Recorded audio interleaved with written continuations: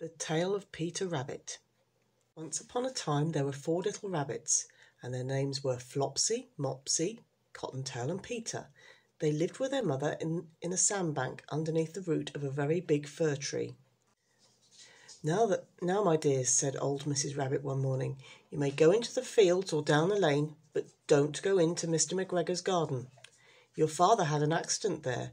He was put in a pie by Mrs. McGregor.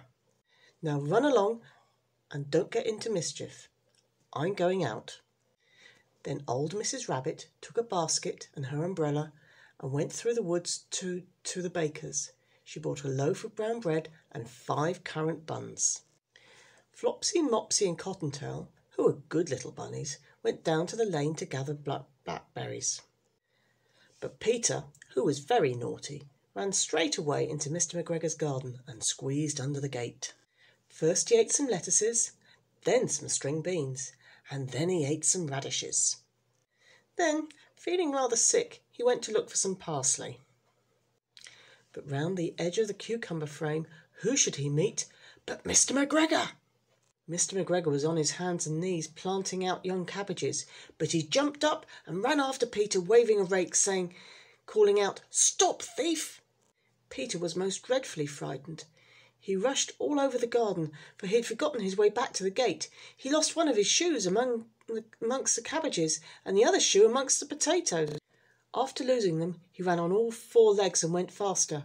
So I think he may have got away altogether if he had not unfortunately ran into a gooseberry net and got caught by the large buttons on his jacket.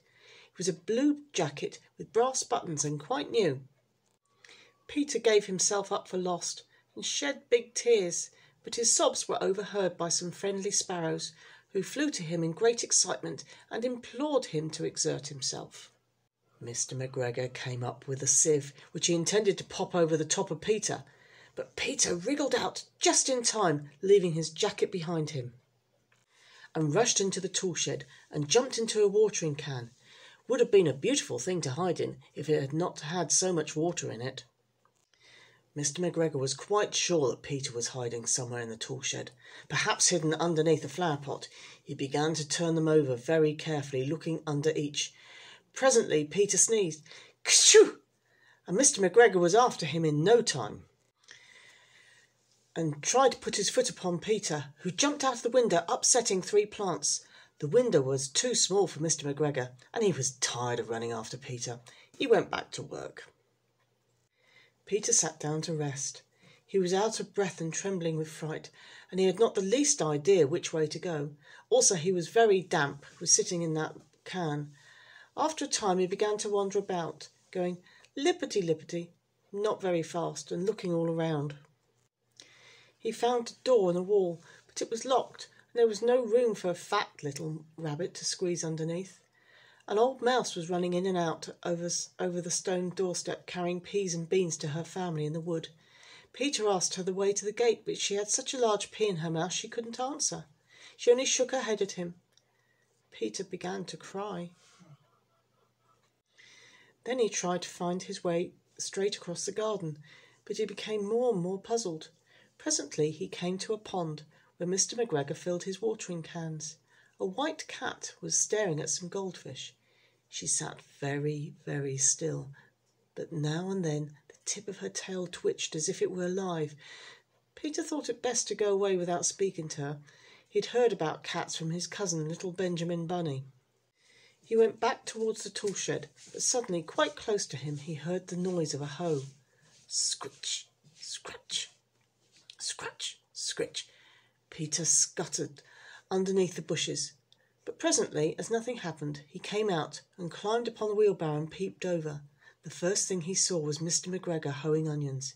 His back was turned towards Peter, and beyond him was the gate. Peter got down very quietly off the wheelbarrow and started running as fast as he could go along a straight walk behind some blackcurrant bushes.